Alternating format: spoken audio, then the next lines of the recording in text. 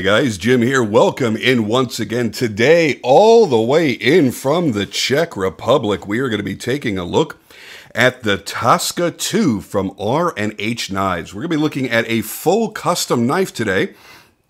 Not production, not mid-tech, but a full custom knife. Starting here with the certificate of authenticity that will be coming with the packaging. This is going to list here the model name, the construction, blade material, what you're going to be getting uh, made into the handle, and uh, if it's going to be numbered, here is the numbering, and then Jan's signature and the date of the uh, the making of the knife. Always nice to see that. Now, as I showed you in the sneak peek the other day, this is the packaging that you're going to be receiving.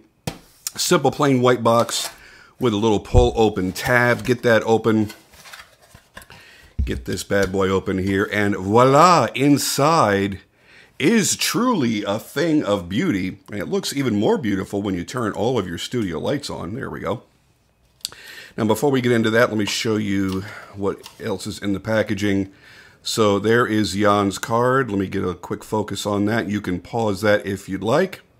And then you can contact Jan for your own build. And then inside of here, is going to be your custom made pivot tool because it is a custom pivot. Ah, there we go. So I thought that was a nice little inclusion into your packaging. Put that in there and then we shall get rid of the box. And here is that gorgeous, gorgeous thing of beauty. Now, as I mentioned in the sneak peek, that I uploaded the other day. This is, in my opinion, a, a rather exceptional knife because it's unique.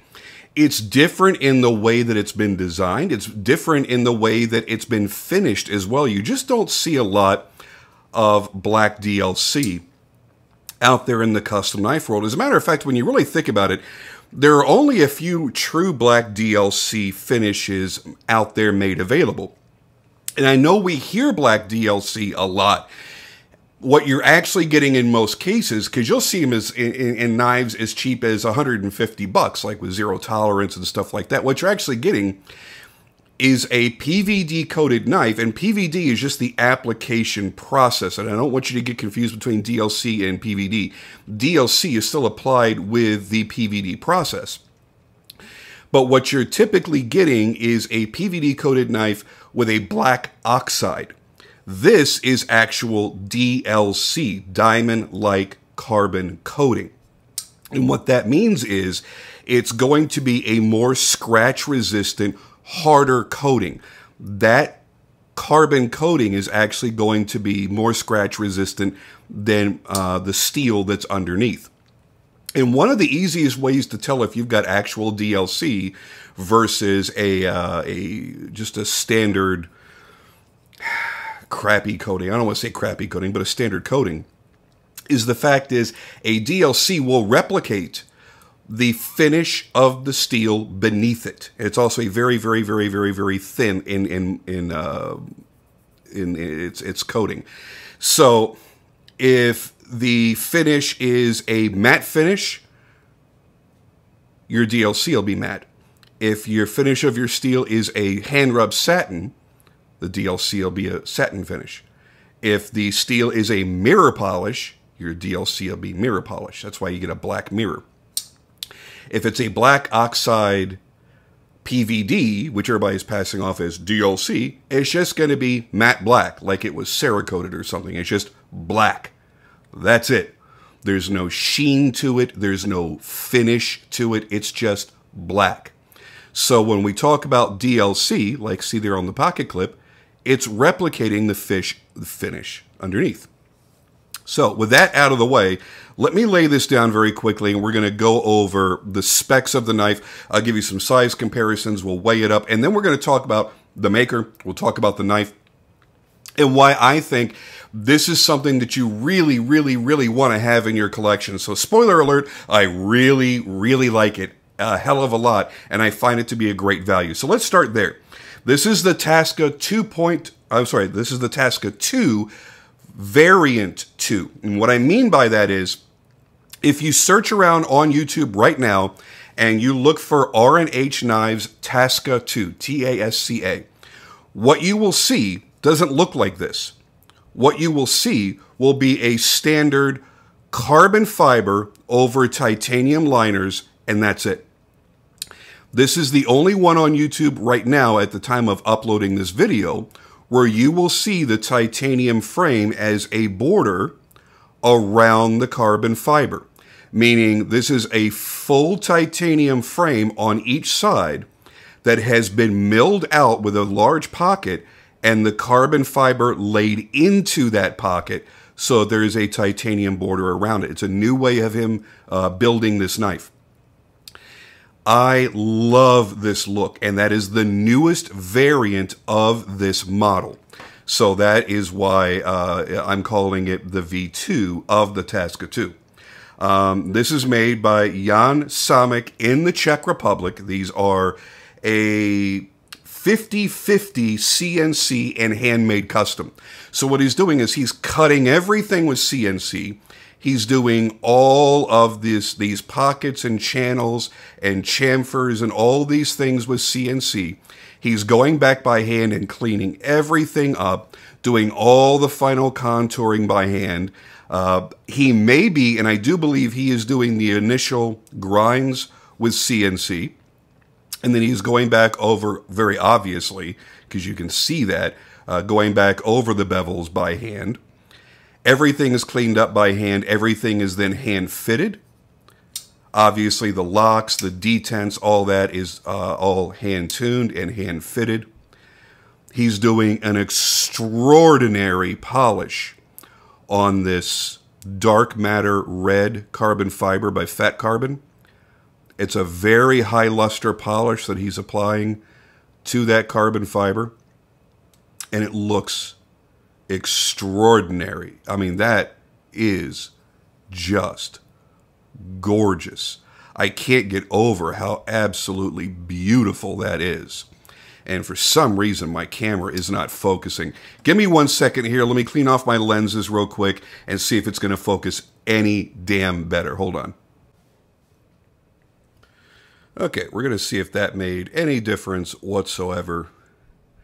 There we go. Now we can actually see what the hell it is I'm talking about. Beautiful finish work on that carbon fiber.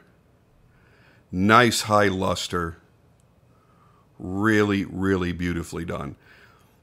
So you could see all the handwork that's been done. You obviously see, look at the pockets inside, all of the CNC work that's been done. So you're paying for a skill level on both areas, on his machining, on his uh, his uh, CAD work, his cam work, his hand work, his knife making skill, everything. You're paying for all that, but you're not paying a hell of a lot of money because his prices on these are around 600 US, which is, in my opinion, wildly underpriced. $600 and you're getting a full custom. Again, this is not a production knife. It is not a mid-tech knife. It is one guy doing all this work based on what you're ordering. Now you can order a spec knife, which means he'll have a certain layout of options or a certain knife available on his website that you can choose from. It'll either be, I have these knives that are done, ready, available, you can choose from them and buy them, or you can order a knife and here are the ready made available options in these different carbon fibers, these different finishes of blade. Here you go. Or you can say, I really want an all textured titanium uh, inlay on my frame, and I want a bead blasted uh, blade, and then I want a Timascus backspacer. Then that would be a full custom, and then your price would determine, you know, the material, the you know, materials and workmanship would determine your price from there. But those are the ways that you can order from him. But he's only making about 80 knives per year in his shop because, again, full custom. Everything is done at a slower rate, so it's limited availability. Right now, his books are open. That's one of the most exciting things that I can do is bring out to you a really talented maker making a, an exceptional knife who's actually available to take orders. I love this. Absolutely love it. Now, this knife has undergone some generational changes to make it more lightweight. Each time that he's upgraded this knife since the first time he made it, he's made it more lightweight and he's contoured more of it and he's softened more of the edges to make it more comfortable in the hand. He's softened more areas of the pocket clip so that it doesn't tear up the pocket, to make it go in and out of the pocket more easily, to not snag on things. Basically, everything is about comfort and practicality along with making it more lightweight. So your specs are as follows, very simply. And again, I'm going to I'm going to go ahead and move the knife over here because I'm going to list the specifications right over here like I started doing on my last video. I'm going to start doing that from now on. Your overall length is 8.07 inches, which is 205 millimeters. Your blade length is 3.5 inches or 90 millimeters in length. In M390, again, you will be able to order a different steel if you would prefer. He was doing these in RWL 34 in the previous variation. Oh, I would have loved RWL 34. It's one of my favorite steels ever. Blade thickness is 125 thousandths thick. Good thickness, not too thick, not too thin. Great EDC thickness, in my opinion, which is 3.2 millimeters. And the weight. What is the weight? It's a mystery. Actually, it's not because I weighed it in the uh, sneak peek video that I did for you. But here you go. For those that didn't see that, 3.4 ounces. 3.4 ounces. Oh my goodness. He's using custom made bearings that he makes in house. So it's his bearings and his own uh, cages that he's making the cages against steel washers to make the system as smooth as humanly possible. Let's give you some size comparisons against some other knives that you've seen me review in the past, some of my favorites. Here it is up against the Tuya Knives Hive 2. As you see, it's a little tiny bit smaller, considerably lighter in weight. Well, let's, if I'm going to do it, if I'm going to talk about it, I might as well show you. So, again, 3.4 ounces, 5.3. That's the difference between pocketing out all of your titanium. Another size comparison here to my Dan Caraher 904, one of my absolute favorite knives ever. Significantly larger. Five ounces. And this is significantly smaller. Big difference there against my Varga Knives VBR. Nearly identical in size, but you see this is much, much sleeker. Woo! 5.3 ounces. Huge weight difference. And then you guys know I love my Terrain 365. Almost identical in size. This one is uh, quite a bit slimmer in its blade stock and almost identical in its weight. And this is uh, very, very thin on the titanium with a lot of G10. So you've got, as I mentioned with the Terrain 365, a perfect EDC weight. Now, Jan began making his knives back in uh, 2014 with his father, Richard. And that's where the brand name comes from, in case you're wondering. And we all love to know origins of, of the names and stuff like that.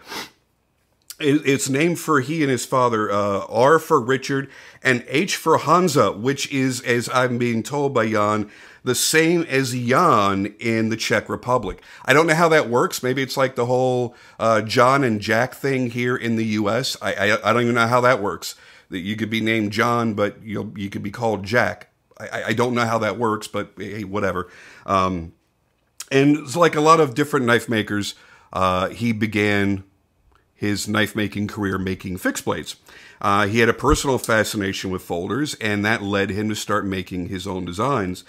And I got to tell you, from making the leap immediately from fixed blades to folders with the original Tasca. The original Tasca looked really good.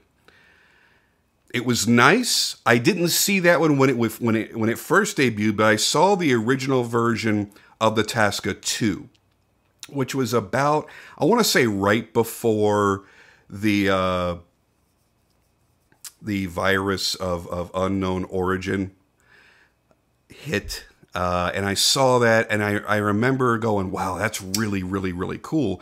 And I had kind of forgotten about it.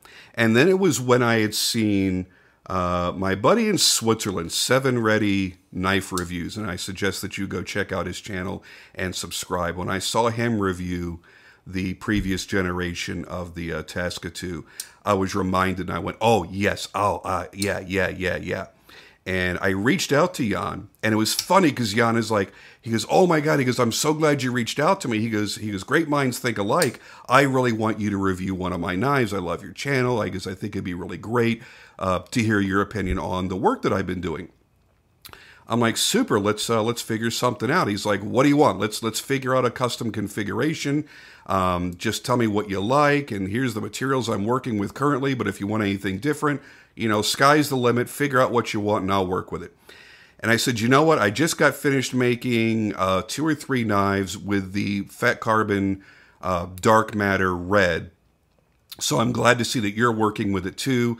Um, I really fell in love with it, so let's let's try that and I fell in love with it when I was working with it. I love the really dark nature of it. I love the fact that the color, and it's random. You could get some that has a lot of red in it, or some that just has a little, but it's pretty subtle. And I said, let's uh, let's do that, and and let's definitely do the black DLC. I love that rich look, and he nailed it. Now, the thing that I love the most about this knife, besides the ergos, let's talk about that first. I really like how this fits in the hand. It's super comfortable. I, I wasn't sure that I liked the way that it tapers toward the rear. I thought it was going to be too slick and want to kind of push out of my hand, but it really doesn't. It fits my hand really, really well. The jimping up here, while it's not sharp at all, it, it feels good. I don't really think that it's doing a lot for retention, but it feels pretty good. And there's some um, little little bit of jimping in the gear style backspacer. And I think that the fattier hand kind of locks into it, and it feels good. I don't think I'm ever going to have any issues with it. Um, I've carried it almost every day since it arrived, and I've really, really been enjoying it. It is so lightweight. I can't even describe to you the fact that a knife this large and this thick virtually disappears in my pocket and I don't even realize it's there. But my favorite feature is the flipper tab. The fact that it's so discreet, it almost completely disappears into the design. It's completely uninterrupted to the flow of the design. You don't realize it's there, just like the lanyard opening in the backspacer. It's all, it's like you don't even realize it's there. Yet it works perfectly. You can either rest your finger on this well placed notch and slide it back, or just hit the tab and it rockets open. The action is smooth as glass. As a matter of fact, I've nicked my thumbnail more than once because it wants to just drop on its own so freely. His use of the bearings against the steel washers makes it just perfectly glass smooth. Even though the blade does not weigh a lot, it just wants to drop so freely. And by the way, that, that it, there's no looseness at all. When I unlock that lock, I cannot move that blade in any direction or, or sideways at all. Uh, there is no looseness to that pivot whatsoever. So it's not that. It's that damn smooth. And speaking of pivot, there's another look at that custom pivot. Just handsome and clean. Nothing crazy, but it's a nice, simple design that goes along with that nice, simple design of the overall knife. So if you look at the titanium going around the perimeter, that is not DLC. That is just a dark stonewash. Nicely beveled all the way around. So you've got a dark stonewash on all the titanium going all the way around, which is a nice contrast to the dark black of the carbon fiber and to the dark black of the DLC blade.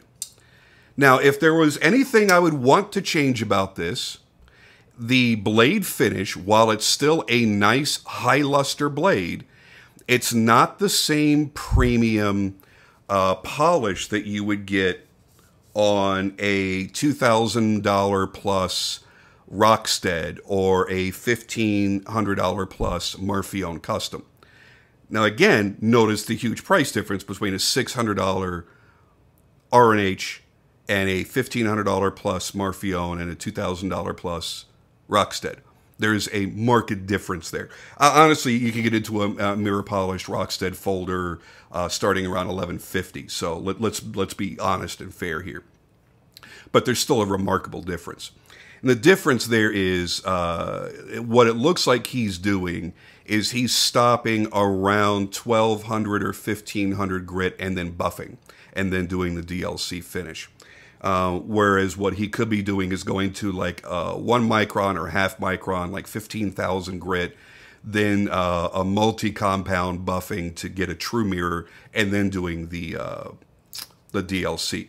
But what that would do, because of the days of hand finishing and then polishing that that would require, you'd be just about doubling the price. So you have to balance out the fact that you're getting a polished blade at $600. If you want a polished blade and you're okay with spending, say, $1,200, then maybe, yes, he could put another eight hours or 10 hours into sitting down with uh, die maker stones and polishing out that blade and then going back over every time you go with the die maker stone in one grit, you go back over it with sandpaper, then stone, then paper, then stone, then paper, then stone, then paper, through each and every grit, all the way up till you get to somewhere around, you know, 15,000 grit. And then you go through a couple of different compounds on your buffer. And then after that, you're paying this extraordinary cost for the DLC coating. And then what you have is a $1,500 plus knife. But at $600, I am absolutely more than okay with the finish that's on that blade. It looks great. Here's the other thing, too. And you can ask anybody, look at anybody in any knife group that uh, posts a picture of their Rockstead. Ask them how often they're using it for cutting tasks. There is nothing that feels better than cutting with a Rockstead because of that very unique edge that they have. They're going to say they're afraid to because they don't want to they don't want to screw up that amazing finish, that gorgeous finish. Well, here's one that I and I already have cut with it. I don't mind cutting with it. It just it doesn't bother me. I'll clean this off just for the sake of video purposes, but um, it, it's it's not going to scare me as much as a mirror polish blade. It's just not. I've got a nice high luster, so it's got a dressier look to it. It's going to set itself apart from every other knife in my collection. But I'm not afraid to use it. And look, just look how sleek and sexy this is. Another thing I wanted to mention was the way that he profiled this blade. Instead of just having a normal belly here, he's got a straight edge meeting another nearly straight edge, but they come to a point right here. And what that's going to allow you to do is so you can still do a rocking cut if you need to, but how many times have you gone to open like a package and you're you're you're kind of zipping down the tape or you're zipping down a piece of cardboard? And if you've got just a belly where it's just rounded, there's a difference when you like switch to maybe I don't have a Tanto. Yeah, I do have a Tanto sitting out here, don't I? A lot of times what we'll do is we'll want to use the the corner of that that tanto edge there where the two edges meet. Because there's a there's a nice little corner there that's really great for cutting. Well you actually get that right there. Oops didn't mean to hit the camera there. So you've got that right there. There's a nice little corner right there that you don't get in a traditional uh, rounded edge like that. So I found that to be quite useful actually last week when I was uh, I was cutting uh, a few boxes down. Anyway, it's just not particularly important, but it was just one thing that I noticed uh, when I was cutting some stuff. There's that, that little corner right there, just a little bit different, just a, a unique way that he's profiled this blade that I didn't expect when I had seen the uh, the pictures of it. Anyway, the action is addictive. I love sitting here just flipping it. Light switching this thing is it's nearly orgasmic feeling the way that this flips. I really, really enjoy this knife a lot. And I think, I don't know if you, yeah, I guess you can reverse flick it if you want to. I think everybody that gets this is just going to fall madly in love with it. I like the dark nature of it. You don't need to get the DLC. He does satin blades or polished blades that doesn't have the DLC. You don't have to go dark if you don't want to. You don't have to go with the dark matter carbon fiber. There's a lot of choices. I mean, man, you could go with a nice satin blade and a bright orange G10 if you want to. I mean, there's the sky's the limit. Um, I just liked the look of this dark and sinister finish all the way around. And it stands out in my collection. It's something that when I go to open my my knife boxes, and if I don't have a particular idea in my head of what I want to carry that day, this jumps out as something completely different. It's not battling anything else in my collection. And I really, really enjoy that. Um, I look forward to seeing new models from him in the future.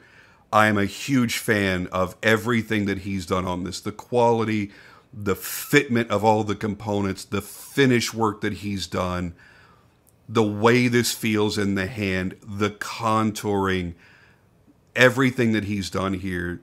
This is an extraordinary, extraordinarily talented knife maker.